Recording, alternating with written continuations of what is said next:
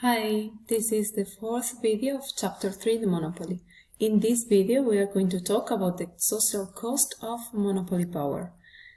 Well, we know that in a competitive market price equals the marginal cost, while the monopoly power implies that price exceeds the marginal cost. So because of the monopoly power results in higher prices and lower quantities produced, we would expect it to make consumers worse off and the firm better off. But is the society as a whole in a better situation or is it in a worse situation? We are interested as economists to know what happens with the society, if they are better or worse. And we can answer this question by comparing the consumers and producers surplus that results when a competitive industry produces a good with the surplus that results when a monopolist supplies the entire market. And for, the, for this purpose, we are going to assume that both of them have the same cost curve. So this will be the cost curve, the marginal cost curve. And in this figure, we can see the average and marginal revenue curves. This is the average revenue and this is the marginal revenue, the marginal cost here. So to maximize profit, the firm, if it were in a competitive equilibrium, would produce here, where the marginal cost equals to the average revenue, or where the point this is the point where the marginal cost equal to the price. In you know that in a competitive market, the marginal cost just equals to the price. Okay, so this will be the price in a competitive um, in a competitive market, and this will be the quantity. But if we uh, change and now the, there is only one firm in the market, so we have a monopoly. The quantity and the price change because now we look for the point where the marginal cost equals to the marginal revenue. This is here. And then it gives us the quantity that the monopolist is going to supply to the market. This will be the quantity exchange in the market, the, the new one. So if we draw a vertical line from here up to the average revenue, we find that the price for the monopoly is this one.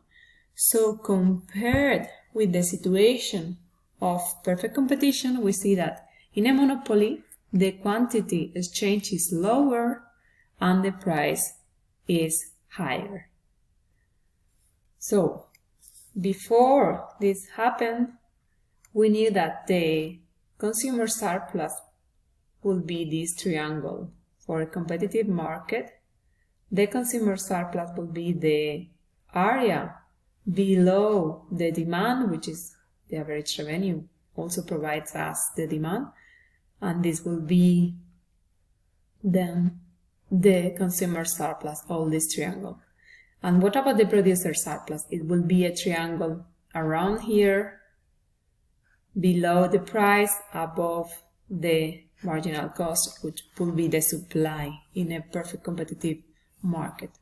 But after that, when we have a monopoly, the first change is that the price increases and this causes that the consumer surplus decreases. Instead of being this whole triangle, the consumers will lose A and B. So the new consumer surplus will be this smaller triangle here above the price below the demand or the average revenue which is the demand. And then what happened with the producer? The producer will produce this lower quantity and at this price. So the producer is going to earn a, but he's going to lose the area C. Okay, so the new producer surplus will be A plus all this trapezoid below the A area. Okay. Um, the limit here is the quantity we have in the monopoly.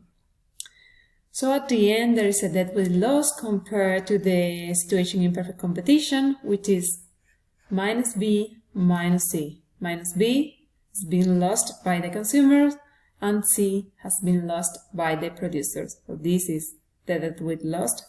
And as a consequence, the society as a whole will be in a worse situation. It is true that the firms may gain something this area.